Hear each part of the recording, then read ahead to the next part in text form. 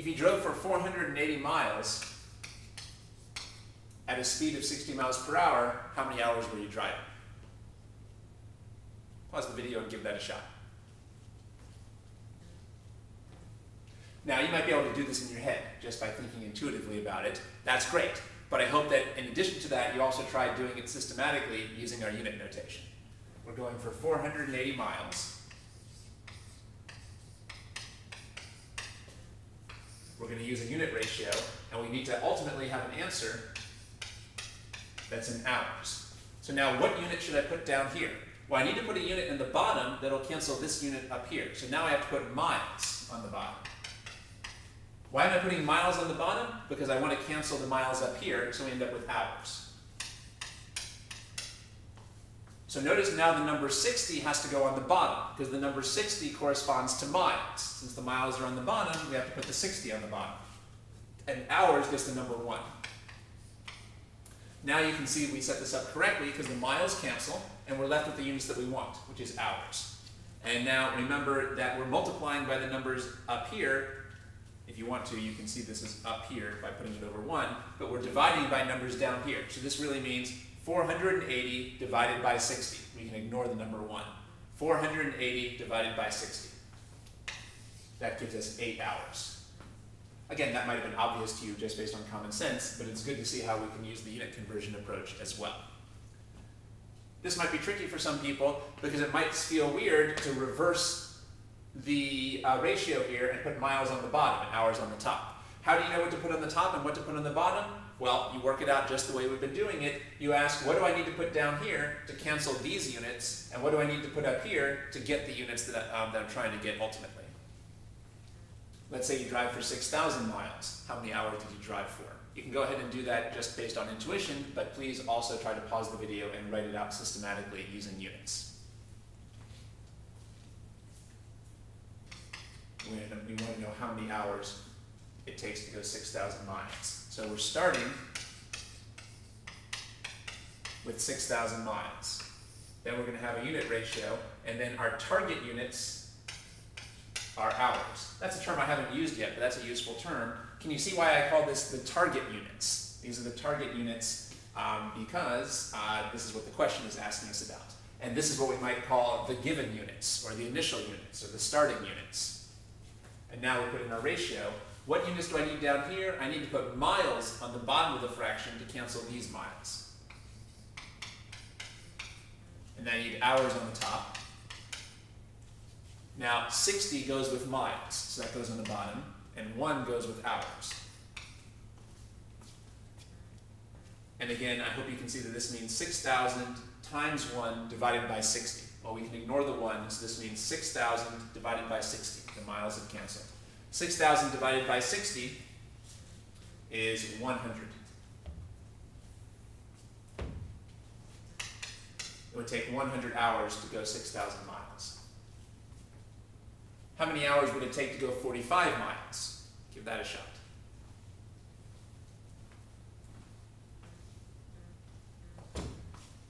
The units we were starting, we are given are 45 miles. Our target units are hours.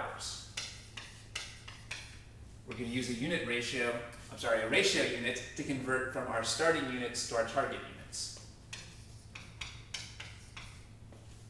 We need miles down here to cancel the miles up here, and that means hours to the top. The number 60 goes with miles on the bottom. So now we have 45 divided by 60. 45 divided by 60. Well, that comes out to be three quarters of an hour. Three quarters of an hour or 0.75 hours, if you want to give it as a decimal. 0.75 hours or three quarters of an hour. 45 divided by 60. Now notice that in all of these problems, I've been giving you the distance. And the question has been asking you for the time. How would you solve this algebraically? If you're given the distance, and of course we already know the speed which we could call the rate, or r.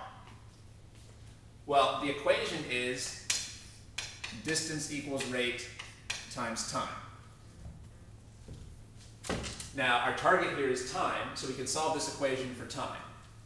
If we solve this equation for time, we get that the time equals the distance divided by the rate. Divide both sides by r. Time equals distance divided by rate. This is really the calculation we've been doing in all the examples. For example, 480 divided by 60 is 8. 6,000 divided by 60 is 100. And 45 divided by 60 is 0.75, which was the answer that we got here. So you could have solved all these by just plugging into this formula. Uh, but what I want to emphasize is that the formula really isn't necessary. Even if you've never heard of this formula, distance equals rate times time, you can still solve these problems just by focusing on the units and by having our understanding. And in many cases, you can actually solve the problem in your head if you have an intuitive understanding of what this ratio unit means. If you travel for 0.3 hours, how many miles will you get? Pause the video and give that a shot. Our starting units are the hours, 0.3 hours. Our target is the miles.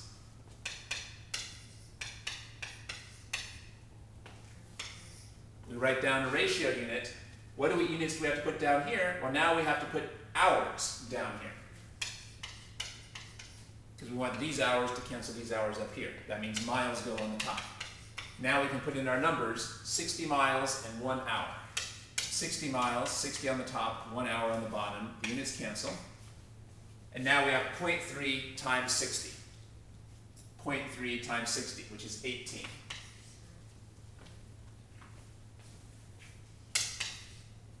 In 0.3 hours, it would travel 18 miles.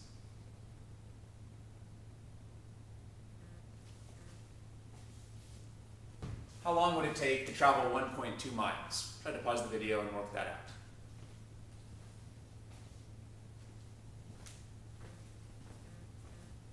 Well, we're starting with 1.2 miles.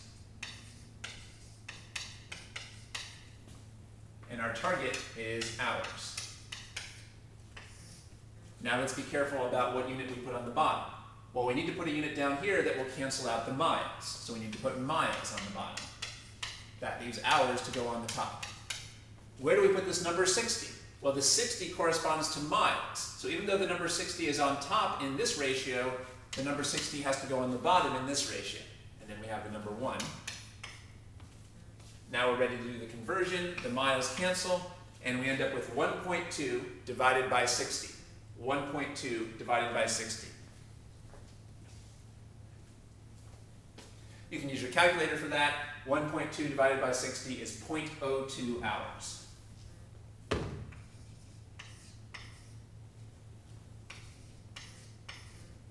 Point oh two hours. In the last couple of examples, we've been switching back and forth between two different types of problems. In some of the problems, I told you the number of miles and you had to figure out the number of hours. And in some of the problems, I told you the number of hours and you had to figure out the number of miles. So hopefully now you have a systematic approach for doing any of those. So the method is, again, start by writing down the initial starting units. Also write down the target units. Then you can write down the ratio, uh, the unit ratio, uh, the ratio unit, or whatever I'm calling it. So um, how do you, and, the key is, how do you figure out what units to put here on the bottom? Well, you want to put the units here on the bottom that will cancel these units over here. You want to put units on the bottom that will cancel your starting units. And then the other units automatically go on the top. And then make sure you put the numbers in the correct places as well. Notice that the number 60 is on the top of this ratio, but it has to go on the bottom of this ratio because over here the miles are on the bottom, and the 60 is associated with the miles. It's a good idea to keep writing down the number 1, even though it doesn't affect the calculations, just as a kind of placeholder. So I'm going to keep writing down the number one, even uh, though it's not affecting the calculations. All right, and again, what we've seen then, then is this allows us to go back and forth between um, either the units on the top or the units on the bottom without having to look at any formulas from the textbook. Uh, and again, in many cases, you might not even have to do the unit analysis. You might just have enough common sense for the problem that you can do it in your head. For example, obviously, if you can go one hour, if you can go 60 miles in one hour, how far can you go in three hours? It should be obvious that you can go 180 miles. Um, or um, if um, you can go 60 miles in um, one hour, how long does it take you to go 30 miles? Well, it should be obvious that it would be half an hour. So for simple cases, you can just figure it out in your head without even doing the unit analysis. Um, but if you're not confident of that, you can always do this simple unit analysis to get the answer. Uh, again, um, no, no formulas are necessary if we know what the units are. So one of the big lessons from this series of videos is the importance of memorizing the units for all the concepts that come up in the course. It's really uh, crucial that you memorize the units for every concept that comes up in physics and chemistry because we've seen that knowing the units helps you to understand the concept. Knowing the units helps you to understand the concept. For example, even if you've never heard the word speed before, of course you have, but even if you've never heard the word speed before, if I tell you that the units are miles per hour, you can figure out what speed means. Um, you can figure out that it tells you how many miles you can go in one hour.